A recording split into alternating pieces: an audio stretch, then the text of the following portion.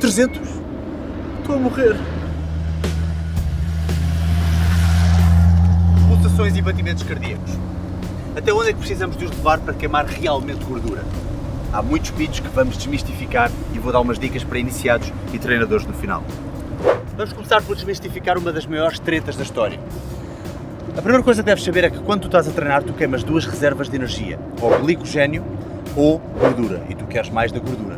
Se tu tiveres a 50% dos teus batimentos cardíacos, vá lá, vamos dizer 100, 100 batimentos cardíacos por minuto, estás a queimar cerca de 60% de gordura e 40% de glicogênio.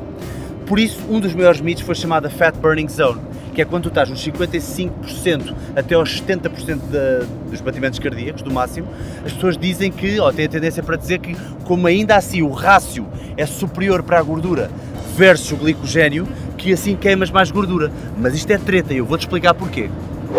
O problema deste mito é ser baseado em valores relativos e não ser baseado em valores absolutos. Ou seja, a partir do momento em que tu sobes os batimentos cardíacos bem até lá acima, este rácio gordura-glicogênio vai se inverter e começas a gastar mais glicogênio do que gordura.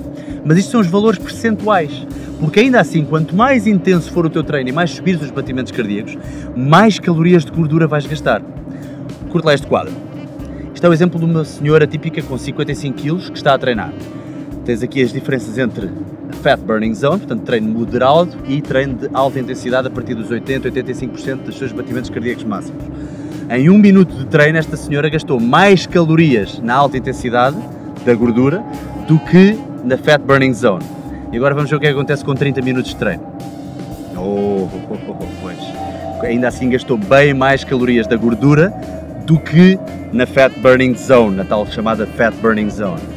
Isto acontece porquê? porque o rácio aqui não é tão relevante, são os valores absolutos que contam. Vamos agora à segunda dica que vai desmistificar este mito.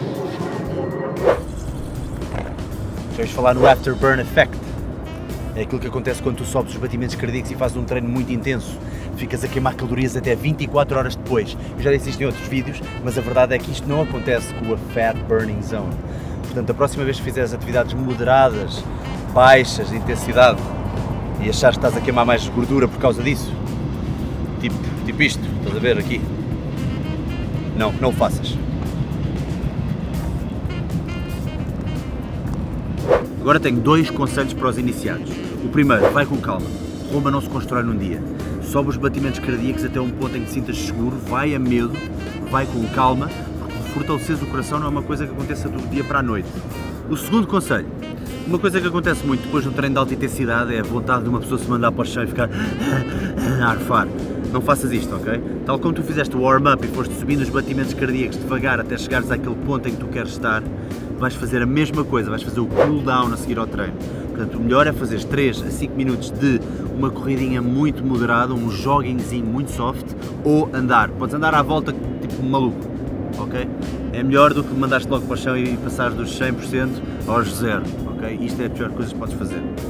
Por fim, uma nota para os treinadores, principalmente os iniciantes. Quando estás com um aluno teu pela primeira vez ou pelas primeiras vezes, vai tu ao ritmo dele e não ao contrário, ok? Tu queres jogar pelo seguro e queres tornar um profissional de excelência e não queres começar da pior maneira, pois não? Mostrei.